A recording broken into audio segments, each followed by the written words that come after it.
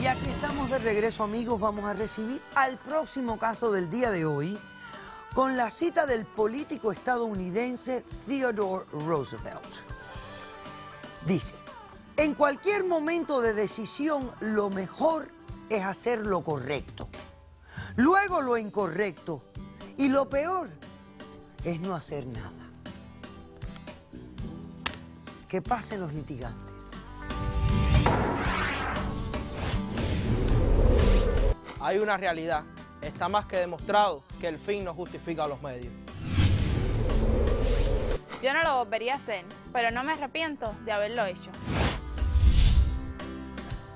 Buenas tardes y bienvenidos. Buenas tardes. Néstor, eres el demandante y estás demandando a Daisy. ¿Quién es Daisy? ¿Tu esposa? Doctora Daisy es mi esposa, si así la puedo llamar. Es tu esposa, ¿no? Sí. Ok. Bueno, explícame por qué estás demandando a tu esposa Daisy y qué exiges para resolver este caso. Doctora, yo estoy demandando a mi esposa por la sencilla razón de que quiero su divorcio y la custodia total de mi hija, ¿ok? Esta mujer... ¿Qué fue- edad tiene tu hija? Cuatro años, doctora. Cuatro años. Es hija de Daisy también. Sí. Ella es la Hija mamá. en común, exactamente. Ok. ¿Y Esta- ustedes cuánto tiempo llevan casados? Cinco años, doctora. Cinco años casados. ¿Qué se ven tan jovencitos? Tengo ¿Cómo? 25 años. ¿Qué edad tienes tú? 25 años, ¿Y tú? 25. Los dos tienen 25 años. exacto. Ok. Bueno, explícame por qué te quieres divorciar de Daisy. Sencillamente, ella tomó la decisión incorrecta, ¿eh? Llevando a mi hija a un extremo que por poco le causa hasta la muerte, sin medir la- las consecuencias que pudo haber traído ese acto y ese eh, deseo que no se entiende, que ella tuvo esa desesperación en ese, en ese instante. ¿Ok? Le voy a comentar un poco para que me entienda lo que, en lo que se hace mi demanda. A ver. Daisy y yo nos conocimos estudiando cuando teníamos apenas 17 años en la escuela, allá en Cuba. Ah, en ¿ok? Cuba, ok. Exacto. Fue una relación muy bonita, hermosa, hubo química desde el principio, perfecto, todo funcionó. Cuando ya decidimos, nos casamos, tuvimos una bebita, muy bella, ella Lucía se llama, la cual es, vaya, mi sueño, mi, mi todo, y por lo cual yo estoy hoy aquí, ¿ok? Se me dio la oportunidad, doctora, como todo joven, tanto ella como yo, nuestro deseo era siempre salir de ese país, de Cuba. Decisión tomada mutua. Ok. Ella estuvo de acuerdo en todo momento porque era por el bien de nosotros y por nuestra hija, para que creciera en este país, que era lo que siempre hemos querido. Perfecto. ¿Ok? Perfecto, ahí no hubo problema. Yo llegué aquí, a este país, pasando 10.000 necesidades, no tenía familia. De más está decir todo lo que los emigrantes pasamos cuando llegamos aquí, ¿ok?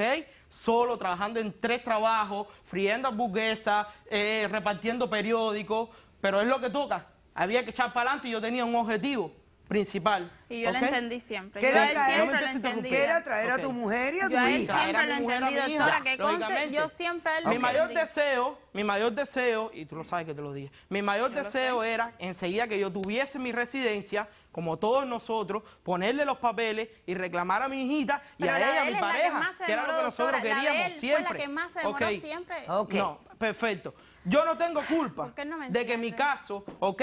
Yo no trabajo en el departamento de migración. Claro. Yo no tengo culpa. Mi residencia demoró casi dos años, doctora. Cuando llega a mi residencia, yo tenía los mil y pico de dólares que hay que tener, porque eran dos, doctora, no era uno solo, ¿ok? Yo tenía el dinero, le puse la reclamación. En cuanto yo, mi residencia llegó el sábado, doctora, y yo el lunes estaba en una agencia de viaje sacando eh, los papeles y todo lo que necesitaba para, la- para poderle pedir la reclamación y comprando un boleto, doctora, para poder ir a ver a Cuba. Imagínense, yo dejé a mi bebita, doctora, eh, sin apenas haber cumplido el año. Perfecto. Me regreso a Cuba, le doy la noticia, perfecto, te puse los papeles, estábamos todo bien. Y ella me dice, "To- todo va a suceder tiempo al tiempo, todo, todo cuando Dios lo quiera. Ok. Ok, me vengo para acá porque fui por pocos días, no podía perder mi trabajo aquí, yo feliz. Llamo, es viernes, como de costumbre, no me coge el teléfono, insisto, insisto, insisto, no me coge el teléfono. llama a mi mamá, dice mi mamá, no, Néstor, si Daisy hace una semana que no se porta por aquí. Y yo, ¿cómo que hace una semana que Daisy no se porta por aquí? Dice, no, no, no, ni me ha traído a la niña, ni nada. Nadie en todo el barrio sabía dónde estaba metida Daisy. No se lo podía decir a nadie. ¿Sabe cómo yo me puse? Ja, tuve que corriendo pedirle permiso a mi jefe, pedir dinero prestado en el trabajo porque no hacía mucho que yo había ido a Cuba, gastado mi bolsillo. ¿Entiendes? Aquí no, todo el mundo no puede ir dos y tres veces a Cuba en un año, y menos trabajando para, man- para mantenerlas ahí y para poderlas sacar de, de allá. ¿Ok? Entonces, perfecto. Cogí desesperado totalmente. ¿Y fuiste para Cuba? pe- Pedí permiso del trabajo, me prestaron un dinero ¿eh? y me fui para Cuba. Ok, aguanta ahí. Ok, sí. Respira. ¿Qué descubres? Cuando llego a Cuba, buscando a Daisy, nadie sabía nada de ella. Cuando estoy en la estación de policía poniendo la denuncia, me dice mi mamá, vete para la casa, que Daisy llamó y te va a volver a llamar. Yo dije, ¿cómo que Daisy llamó? ¿Dónde está Daisy? Que lo que tiene que estar es aquí. Cuando Daisy me llama, algo usted no, se imagina dónde estaba la muchacha. En Jacksonville, metía, porque servicio de iglesia de aquí de la Florida la mandó para allá, porque la niña se le ocurrió, ella y mi hijita de cuatro años, doctora, venirse en una lancha, que aquello parecía una tabla de planchar, No donde así. venía, no, Eso no, no ¿y qué cosa era aquello? no Bueno, un en una un balsa vinieron, no en una lancha, en una Bueno, balsa. eso No, no, era, era un barco, cualquier doctora, cosa, era un barco. cualquier cosa, un menos, me- menos lo, menos lo- lo posible para poder venir de esa forma, ¿ok? Pero eso no es todo, doctora. Mi hija, hace menos de ocho meses, le descubrieron que tiene lupus, ¿ok? Es una enfermedad que es muy con- poco común en las niñas, Yo sé. y menos con esa edad. Ella expuso a mi hija, doctora, Pero se lo diagnosticaron. consecuencias. Pero espérate, se lo diagnosticaron en Cuba. Sí, se lo diagnosticaron en Cuba. eso- Yo eso- sola, doctora, yo Sí, sola. no, sola no, pero no te mantenía. No, no, No, no, no, no, yo no, no. sola en Cuba le diagnosticaron. ¿Qué iba a hacer yo si yo no podía salir de aquí Yo tampoco? Yo no tenía Escu- opción. Yo comprendo. Exacto. ¿Ok? Entonces ella expuso a mi hija, doctora, a sol. La niña llegó aquí con unas quemaduras tremendas en la piel, ¿eh? Cu- cuya Eso enfermedad de ella le causa erupción y ras en la piel. Y ella le expuso aún más. Pero no obstante, cuando yo llego aquí, que leo el reporte médico, la niña había llegado deshidratada. Usted se imagina, Es con esa enfermedad, Es la niña deshidratada, meterse... No tienes opción. No, tiene- estás equivocado. Es que yo no sé yo no sé qué hacemos Tú aquí. estabas esperando una reclamación y tú podías haber venido legalmente y no, No, haber es pasado que no por me esas entiendes, condiciones tú en las no que me pasaste. yo no sé por no, qué yo tú sí me te entiendo, tú eres la ¿Por que no tienes que tuviste la amar todo este paciencia. no eh, un momentico, por favor. si ella no tuvo la paciencia, Sí. ¿ok? De esperar un proceso legal, y ahora que está aquí, en este país que uno vive atormentado el día a día, ¿ok?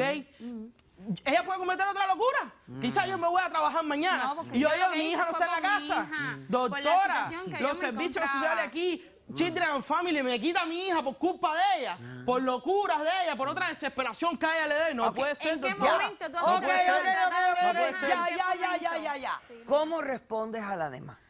Buenas, doctora. Lo primero que quiero decir y aclarar es que yo no soy ninguna madre despreocupada, Ah, ¿no? ni es una locura, no es una locura lo que yo hice. Simplemente es la circunstancia, lo que me llevó en Cuba a tomar esa decisión. Le explico. Mi hija, un año, y- eh, dos años, cuando tenía dos años y medio, eh, empieza a tener eh, dolores, fiebre alta, cosas que no son, o sea, no son usuales. En Cuba lo que más es dengue. Bien, la empieza a llevar al hospital. Pero la trataban médicamente. Era infección en los riñones, cosas así que uno dice, bueno, ¿y por qué? ¿Pero por qué? ¿Por qué? Bueno, eh, tres, tres ingresos por infección en los riñones. Yo tengo una foto para que usted vea cómo estaba mi hija. O sea, en las primeras circunstancias cuando yo la llevé al hospital. En Cuba. En. Cuba. En Cuba. Entonces, eso él no Pero lo la estaba estaban viendo. atendiendo Él no lo médicamente. estaba- Él no lo estaba viendo, él no estaba Esos viviendo fueron- como yo vivía esos fueron los primeros ingresos yo de decía, ella. ¿qué voy a hacer? O sea, hace un año ya me dicen en Cuba, porque ya al tanto de que le empiezan a hacer la investigación, es que le sale que tiene el lupus. El diagnóstico, El diagnóstico de lo que él tiene. lo, él lo subo y ahí nos preocupamos Entonces, más. sabiendo lo que Pero tenía, todavía, todavía te dio la yo- locura de No, venir de turista. Todavía yo Sí. sabiendo, ya cuando ellas que me dicen es lupus, uno dice, ¿qué es eso? Yo me llevo, a ver, a tomar la decisión de lanzarme a mal, de, de llevar a la locura, como dice él, porque yo ya estoy viendo, yo digo, se me va a morir mi hija. Mi hija se me va a morir. Y Estaba yo, siendo y, tratada. y simplemente yo tenía un tío, mi tío, que es como si fuera mi padre. Otro loco más. No, no. Mi tío, que es como si fuera mi padre, y lo sabes bien porque él te quiere a ti, ¿ok?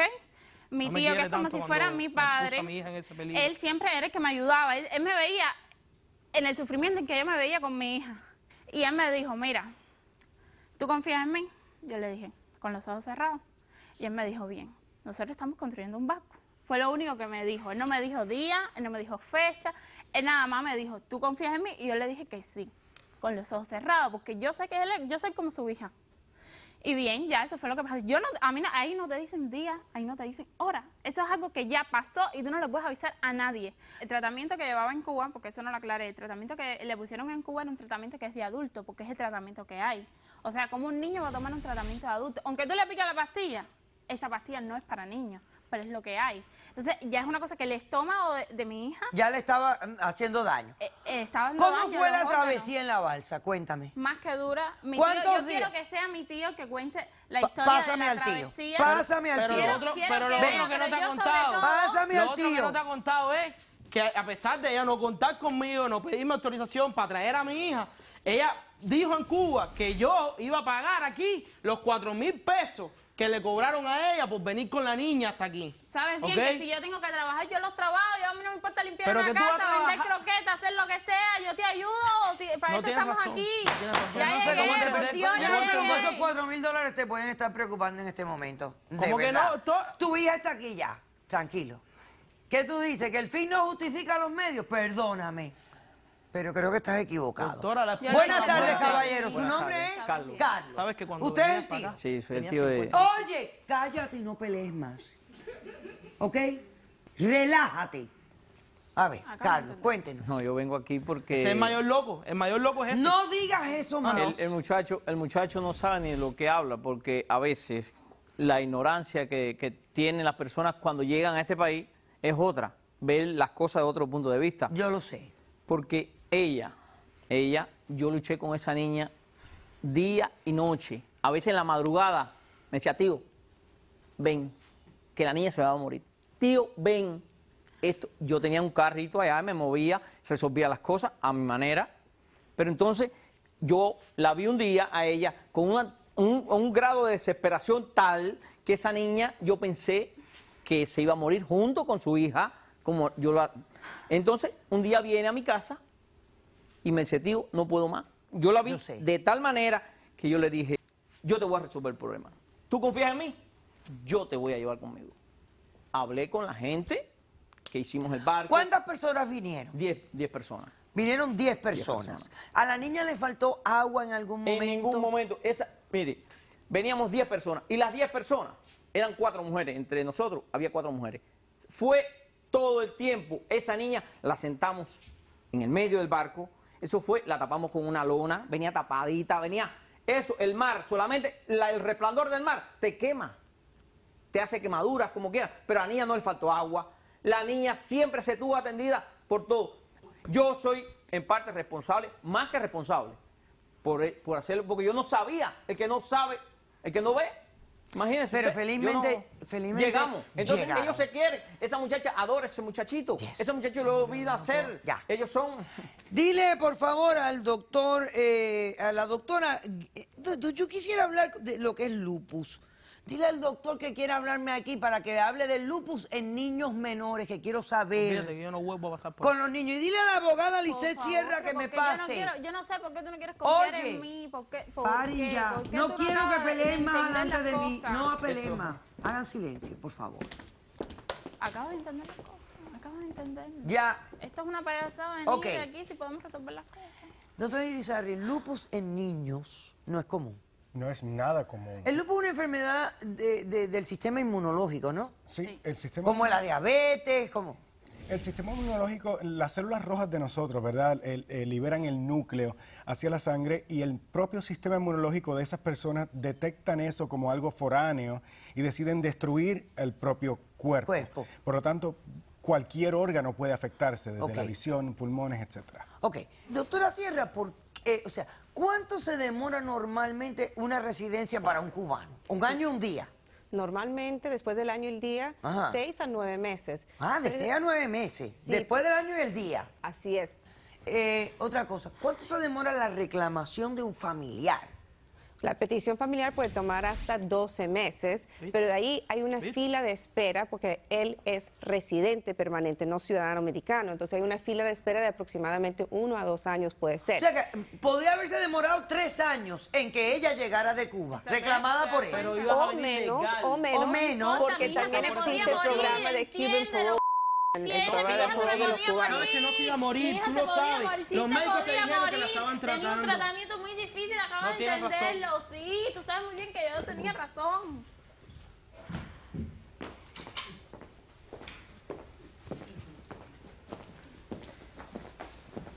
Fíjate lo que te voy a decir.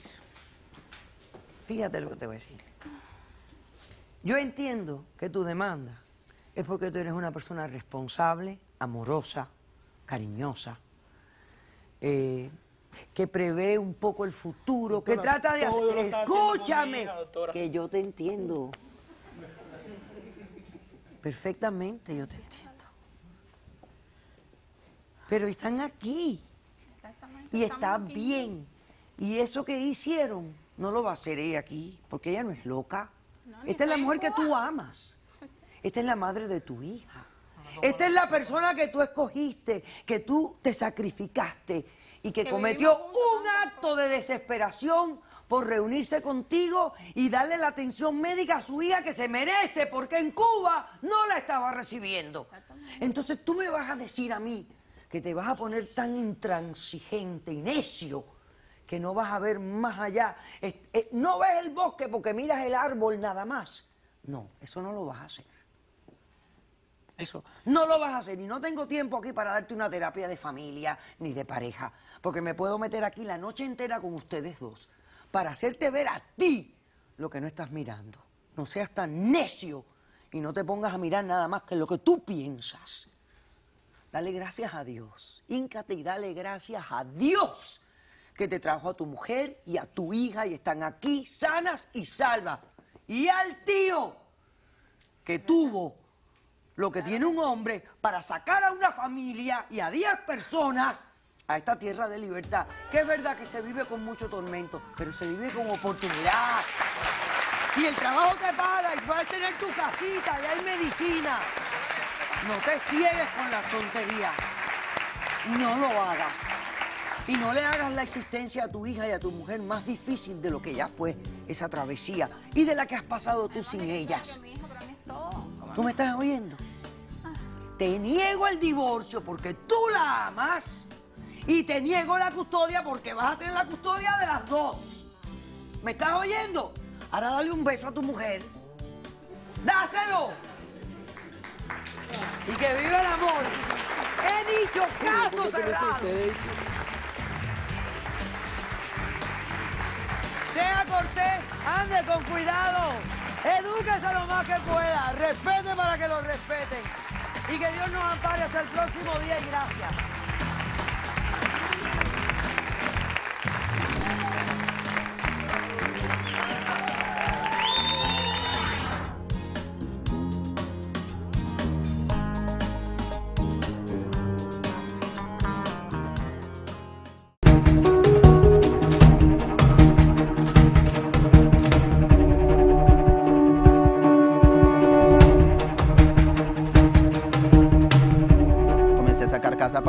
Carro para dos, todo, planeando todo con ella, ¿verdad? Llega ella, a- entonces en ese transcurso son seis meses más o menos que yo no estuve, porque yo estaba trabajando acá, no podía estar viajando y gastando.